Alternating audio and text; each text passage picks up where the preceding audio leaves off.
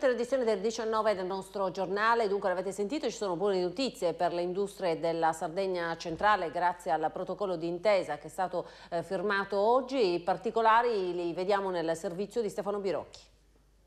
Un protocollo che individua i presupposti per dare l'avvio ad azioni già previste in grado di rilanciare l'industria della Sardegna centrale. Il governatore Cappellacci ha descritto così il provvedimento firmato nel primo pomeriggio tra Regione, l'imprenditore Paolo Clivati, Indorama, le organizzazioni sindacali e industriali, i rappresentanti degli enti locali.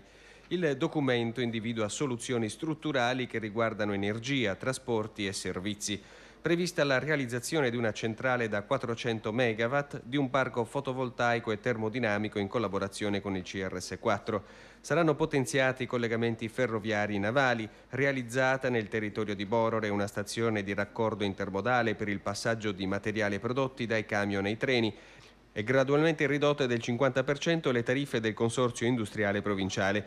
Gli interventi daranno nuova linfa alle attività esistenti e sosterranno il gruppo Clivati Indorama per l'acquisto e la gestione dello stabilimento Equipolymers con i suoi 120 dipendenti più l'indotto, la più grande realtà industriale del centro Sardegna dopo la chiusura degli stabilimenti Legler.